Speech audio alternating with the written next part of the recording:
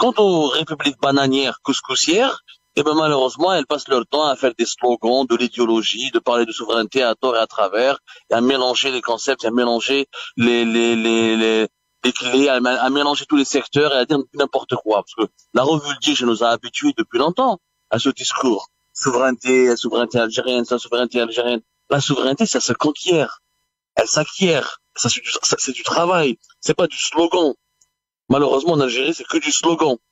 On le voit bien depuis, rappelez-vous, depuis 2020. De 2020 à 2024 aujourd'hui. Qu'est-ce qu'on a connu comme pénurie? Qu'est-ce qu'on a connu comme crise? Qu'est-ce qu'on a connu comme crise de liquidité, crise du lait, crise de l'huile, crise de, de, produits alimentaires, crise de l'ail, crise des oignons, crise des viandes, des œufs et du poulet? Est-ce qu'on peut parler réellement? Comment peut-on ensuite affirmer que nous sommes un pays souverain? Donc il faudra vraiment beaucoup de travail nous attend pour construire cette Algérie souveraine.